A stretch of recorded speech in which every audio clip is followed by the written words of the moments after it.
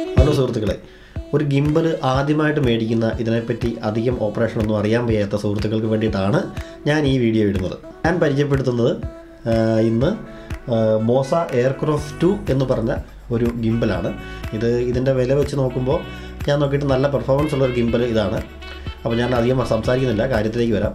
ഈ ഗിംബൽ മേടിക്കുന്നതിന് മുമ്പ് ഞാൻ യൂട്യൂബിൽ ഒരുപാട് വീഡിയോസ് ചെക്ക് ചെയ്തു. ഇംഗ്ലീഷ് ഹിന്ദി തമിഴ് തെലുങ്ക് കന്നഡ മലയാളം എല്ലാത്തിലും ഇതിനെപ്പറ്റി വന്നിരുന്നു.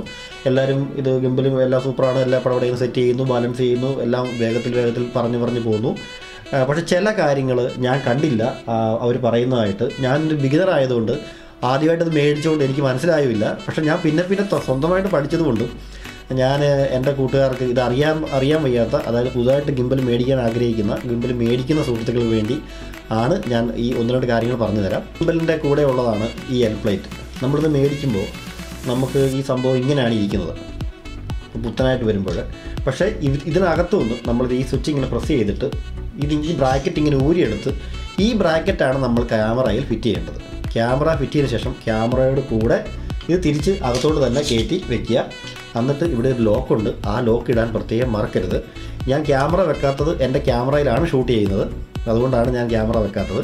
ഇത് ഈ സംഭവം ലോക്ക് ചെയ്യാൻ മറക്കരുത്. ഇത് അതിന്റെ അന്നെങ്കിലേ ക്യാമറ കറക്റ്റായിട്ട് ലോക്കായിരിക്കത്തുള്ളൂ. അത് മറക്കരുത്. അതുപോലെ രണ്ടാമത് ശ്രദ്ധിക്കേണ്ട ഒരു കാര്യം.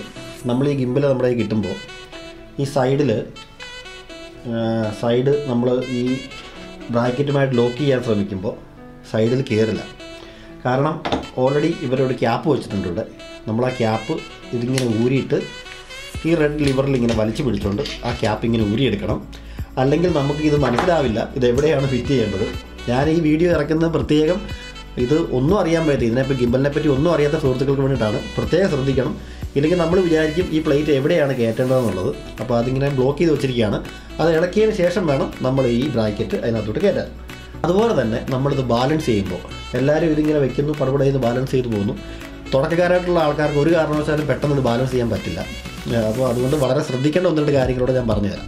ഈ മേളിലത്തെ രണ്ട് ലോക്ക് തുറന്ന് വെച്ചുകൊണ്ട് വേണം നമ്മൾ ക്യാമറ ബാലൻസ് ചെയ്യാൻ.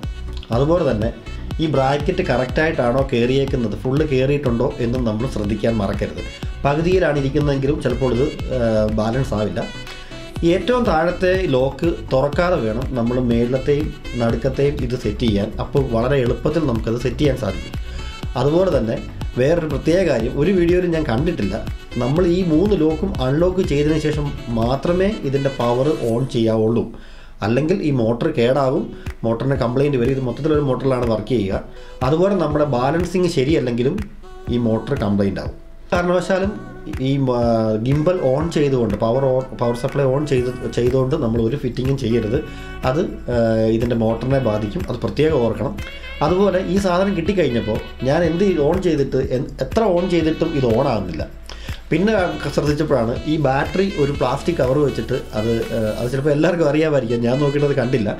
എങ്കിലും നമ്മളൊരു സാധനം വന്ന് ആ തുറക്കുമ്പോൾ ഒരു നമുക്ക് ഭയങ്കര ഒരു ഒരു എന്താ പറയുക ഒരു ആവേശമാണ് തുറക്കാൻ. ഇതെല്ലാം ഫിറ്റ് ചെയ്ത് കഴിഞ്ഞ് നോക്കുമ്പോൾ ഇത് ഓൺ ആവുന്നില്ല. അപ്പോൾ ഒരു ടെൻഷൻ ദൈവം ഇത് ഓൺ ആവുന്നില്ല. എനിക്ക് ഓൺലൈനിൽ മേടിച്ചത് കൊണ്ട് നഷ്ടമാണ്. ഇവരെന്നെ പറ്റിച്ചോ? അങ്ങനെയുള്ള ചിന്തകളൊക്കെ ചിലപ്പോൾ പെട്ടെന്ന് കയറി വരാം. അതിന്റെ ഒന്നും ആവശ്യമില്ല. അപ്പോൾ നമുക്കിത് പല വീഡിയോയിലും കാണാം. അത് ശ്രദ്ധിക്കാൻ ഞാൻ ശ്രദ്ധിക്കാഞ്ഞിട്ടാണ്. പക്ഷേ നിങ്ങളൊന്ന് ശ്രദ്ധിച്ചോളുക ബാറ്ററിയുടെ മേളിൽ ഒരു സ്റ്റിക്കറുണ്ട് ആ സ്റ്റിക്കർ ഊരിയതിന് ശേഷം മാത്രം ബാറ്ററി ഫിറ്റ് ചെയ്താൽ ഇത് ഓൺ ആവത്തുള്ളൂ അതുപോലെ നമ്മൾ ഇതെല്ലാം സെറ്റ് ചെയ്തു ബാലൻസ് എല്ലാം ചെയ്തു കഴിഞ്ഞു. കാരണം എന്റെ ക്യാമറയിലാണ് ഞാൻ വീഡിയോ റെക്കോർഡ് ചെയ്തിരിക്കുന്നത്. അത് ചെയ്തുകൊണ്ടിരിക്കുന്നത്. അതുകൊണ്ടാണ് എനിക്ക് ഇവിടുത്തെ ഫിറ്റ് ചെയ്ത് കാണിക്കാൻ പറ്റാത്തത്. ഒരു ക്യാമറയേ ഉള്ളൂ. ക്ഷമിക്കണം. ഇത് നമ്മുടെ ബാലൻസ് എല്ലാം ചെയ്ത് കഴിയുമ്പോൾ നമ്മൾ ഇത് പവർ സപ്ലൈ ഓൺ ആക്കി ഇതിന്റെ സെറ്റ് ചെയ്ത് ഓണാക്കി നമ്മൾ പയ്യെ ഇത് അങ്ങോട്ടും ഇങ്ങോട്ടും പാനിങ്ങും ടിൽറ്റിങ്ങും ഒക്കെ ചെയ്യുമ്പോഴത്തേക്കും പെട്ടെന്ന് തന്നെ ഞാൻ ഈ മോസയിൽ ശ്രദ്ധിച്ചതാണ്. പെട്ടെന്ന് തന്നെ ഇത് സ്ലീപ്പിംഗ് മോഡ് എന്ന് പറഞ്ഞൊരു മോഡിലേക്ക് പെട്ടെന്ന് മാറുന്നു ചില സമയങ്ങളിൽ. അങ്ങനെ കാണുമ്പോൾ നമ്മൾ പേടിക്കേണ്ട.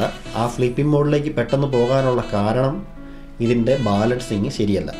ബാലൻസിങ് പ്രോപ്പറാണെങ്കിൽ ഒരു കാരണവശാലും അത് പോവില്ല. ബാലൻസിങ് ശരിയല്ലെങ്കിൽ നമ്മളിത് അങ്ങോട്ടും ഇങ്ങോട്ടും ചെയ്യുമ്പോൾ ടക്ക് എന്നൊരു ഒച്ച കേൾക്കും. അങ്ങനെ ഒച്ച കേൾക്കുവാണെങ്കിൽ ഓർത്തോണം. നമ്മുടെ ബാലൻസിങ് ശരിയല്ല. അപ്പോൾ തന്നെ ഇത് സ്റ്റോപ്പ് ചെയ്തിട്ട് ഇതിൽ തന്നെ ഉള്ള ഫങ്ഷൻ ഫങ്ഷനിൽ ചെന്നിട്ട് അതിന്റെ അഡ്വാൻസ് എന്ന് പറഞ്ഞ ഫങ്ഷനിലുണ്ട് ഇതിന്റെ ട്യൂണിംഗ് ഉണ്ട്. നമ്മൾ ആ ട്യൂണിങ് ചെയ്ത് നോക്കുമ്പോൾ നമുക്ക് മനസ്സിലാകാം എവിടെയാണ് നമ്മുടെ കറക്റ്റായിട്ടുള്ള ബാലൻസിങ് ആവാത്തത്. നമുക്ക് ബാലൻസിങ്ങിന്റെ ഇതുണ്ട്. ഇവിടെ എല്ലാം അതിന്റെ എല്ലാം മീറ്ററിങ് എല്ലാം കൊടുത്തിട്ടുണ്ട്. അപ്പോൾ ട്യൂൺ ചെയ്യുമ്പോൾ അവിടുത്തെ കാണിക്കും ഏത് ഭാഗമാണ് മൈനസ് ആണോ ചെയ്യേണ്ടത് പ്ലസ് ആണോ ചെയ്യേണ്ടതെന്ന്. നമ്മൾ ഇവിടെ നോക്കിയിട്ട് നമുക്ക് അതിനെ വേണ്ട രീതിയിൽ കറക്റ്റായിട്ട് ചെയ്തിട്ട് പിന്നെയും നമ്മൾ ട്യൂൺ നോക്കുക. ആ ട്യൂണിൽ കറക്റ്റായിട്ടുള്ള ബാലൻസ് ആയതിന് ശേഷം മാത്രമേ ഉപയോഗിക്കാവൂ. അത് ഉപയോഗിച്ചില്ലെങ്കിൽ ഈ പറഞ്ഞതുപോലെ നമ്മൾ അങ്ങോട്ടും ഇങ്ങോട്ടും ഇങ്ങനെ പിടിക്കുന്ന സമയത്ത് കറക്റ്റായിട്ടല്ല ഇത് ട്യൂണിങ്ങിൽ ഇരിക്കുന്ന സോറി ബാലൻസിങ്ങിൽ ഇരിക്കുന്നെന്നുണ്ടെങ്കിൽ ഇത് ഓട്ടോമാറ്റിക്കായിട്ട് സ്ലീപ്പ് മോഡിലേക്ക് പോകും. ഞാൻ സൈറ്റിൽ നോക്കിയപ്പോൾ ഒരുപാട് പേര് കംപ്ലൈന്റ് ആയിട്ട് കൊടുത്തേക്കുന്നത് കണ്ടു. സ്ലീപ്പ് മോഡിൽ പോകുന്നു സ്ലീപ്പ് മോഡിൽ പോകുന്നുള്ളത്. പക്ഷേ ആരും അതിന് ഇങ്ങനെ ഒരു റിപ്ലൈ കൊടുത്തതായിട്ട് കണ്ടിട്ടില്ല. കാരണം സ്ലീപ്പ് മോഡിൽ പോകുന്നത് ഇതിന്റെ ബാലൻസിങ് ക്ലിയർ ആവാഞ്ഞിട്ട് കറക്റ്റായിട്ടുള്ള ബാലൻസിങ് അല്ലാത്തത് കൊണ്ടാണ്. മോട്ടറിന് എടുക്കാൻ പറ്റാത്തത് കൊണ്ടാണ് അത് സ്ലീപ്പ് മോഡിലേക്ക് പോകുന്നത്. നമുക്ക് ഈ ട്യൂൺ ചെയ്യുമ്പോൾ കറക്റ്റായിട്ട് നമുക്ക് അറിയാൻ പറ്റും. ഏത് ഭാഗമാണ് ആവാത്തത് എന്നുള്ളത്. പിന്നെ ഈ പറഞ്ഞതുപോലെ ഇവിടുത്തെ നിന്ന് ചെറിയ ഒച്ച വരുമ്പോൾ തന്നെ ഓർത്തോണം അത് കറക്റ്റല്ല അപ്പോൾ തന്നെ നമ്മളിത് ഓഫ് ചെയ്യണം. ഓഫ് ചെയ്യാതെ ഇത് പവർ ഓൺ ചെയ്ത് വെച്ചുകൊണ്ട് ഒരു കാരണവശാലും നമ്മൾ ഇതിൽ ഒരു പണിയും പണിയരുത്. അത് ചെയ്ത ചെയ്- അത് ചെയ്തത് കൊണ്ട് ഇതിന്റെ മോട്ടർ കംപ്ലൈന്റ് ആവും. അത് കൂട്ടുകാരെല്ലാം ശ്രദ്ധിക്കുക. അതുപോലെ ഈ ഗിംബൽ ഉപയോഗിക്കുന്നതിന് മുമ്പ് നമ്മൾ ഇതിന്റെ പവറും ഈ റെഡ് ബട്ടണോട് ഒരുമിച്ച് ഞെക്കി പിടിക്കുക. ഞെക്കി പിടിക്കുമ്പോൾ ബൂട്ട് എന്ന് ഇവിടെ എഴുതി വരും. അന്നേരം നമ്മുടെ മൊബൈൽ ഫോൺ ആപ്ലിക്കേഷൻ മോഫയുടെ ആപ്ലിക്കേഷൻ ഡൗൺലോഡ് ചെയ്യുക. ഡൗൺലോഡ് ചെയ്തതിന് ശേഷം ഇത് അപ്ഡേറ്റ് ചെയ്യാൻ മറക്കരുത്. അപ്ഡേറ്റ് ചെയ്തെങ്കിൽ മാത്രമേ പുതിയ ഫംഗ്ഷനുകളെല്ലാം ഇത് വർക്ക് ചെയ്യത്തുള്ളൂ. സ്മൂത്തായിട്ട് വർക്ക് ചെയ്യണമെന്നുണ്ടെങ്കിൽ അത് ചെയ്തതിന് ശേഷം മാത്രമേ ഇത് പവർ ഓൺ ചെയ്ത് ബാക്കി ഫംഗ്ഷനിലേക്ക് പോകാവൂ എന്ന കാര്യവും ഞാൻ എന്റെ സുഹൃത്തുക്കളെ പ്രത്യേകം ഓർമ്മിപ്പിക്കുന്നു. അതുപോലെ നമ്മൾ ക്യാമറയുമായിട്ട് ഇത് കണക്ട് ചെയ്തെങ്കിൽ മാത്രമേ ക്യാമറയുടെ ഫംഗ്ഷനുകളും നമുക്ക് ഈ ഈ റോളിൽ വരികയുള്ളൂ. അല്ലാത്ത പക്ഷം അത് വരില്ല. പക്ഷേ ചില ഗിംബലുകളിൽ ഞാൻ കണ്ടു അത് ഗിംബൽ ഓട്ടോമാറ്റിക്കായിട്ട് ക്യാമറ വൈഫൈ ഉള്ള ക്യാമറ ആയിട്ട് അത് കണക്ട് ചെയ്യുന്നുണ്ട്. നമുക്ക് കേബിളിന്റെ ആവശ്യമില്ല. പക്ഷേ നിലവിൽ ഈ എന്റെ കയ്യിലുള്ള ഈ മോസയിൽ കേബിളില്ല കേബിൾ കണക്ട് ചെയ്ത് തന്നെ ഉള്ളൂ വൈഫൈ ഇതുവരെ ഞാൻ കണ്ടിട്ടില്ല. എന്തായാലും ഞാൻ അവരോട് അവരോടൊന്ന് ഇമെയിൽ അയച്ച് ചോദിച്ച് നോക്കാം. എന്തെങ്കിലും പോസിബിലിറ്റി ഉണ്ടോ വൈഫൈ വെച്ച് ചെയ്യാൻ? കാരണം അത് കുറച്ചുകൂടി ഈസി ആയിട്ട് ഞാൻ വേറെ പല ഗിംബലുകളിലും കണ്ടു. പക്ഷേ ഞാൻ ഈ ഗിംബൽ മേടിക്കാനുള്ള ഏറ്റവും വലിയൊരു കാരണം എന്ന് വെച്ചാൽ ഇതിന്റെ പവർ സപ്ലൈ ഇതിന്റെ ചാർജിങ് ആണ്. അത് വലിയൊരു കാര്യമായിട്ട് ഞാൻ കാണുന്നു മോസയുടെ. കാരണം നമുക്ക് ഇത് സാധാരണ പോലെ ബാറ്ററി ഊരി എടുക്കണ്ട. നമുക്കിതിന്റെ ബാറ്ററി തീർന്നാലും ഒരു പവർ ബാങ്ക് വെച്ച് ഇത് കണക്ട് ചെയ്തുകൊണ്ട് പവർ ബാങ്ക് പോക്കറ്റ് വെച്ച് കണക്ട് ചെയ്തുകൊണ്ട് നമ്മൾ നമുക്ക് ഷൂട്ട് ചെയ്യാം. ഫെസിലിറ്റി എന്റെ ക്യാമറ പാനാസോണിക് ജി ഉണ്ട്. നമുക്ക് ബാറ്ററി തീർന്നു പോവുകയാണെങ്കിൽ ബാക്കപ്പ് ഇല്ലെങ്കിൽ.